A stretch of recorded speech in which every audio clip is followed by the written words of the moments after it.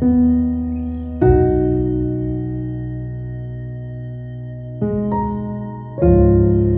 for some more New York Comic Con 2019 stuff. Today it's The Simpsons Treehouse of Horror Vampire Burns.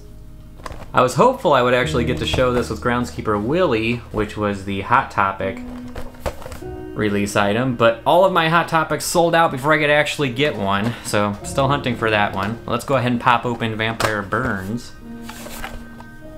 Burns, Vampire Burns, it was an FYE exclusive, so I picked it up at my local mall. They had plenty in when I went in in the morning.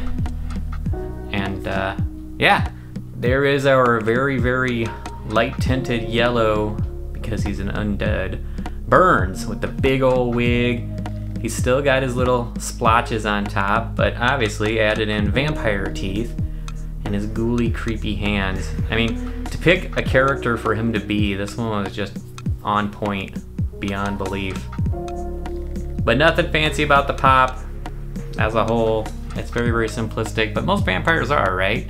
Let's go ahead and give Vampire Burns a spin. Thanks for watching.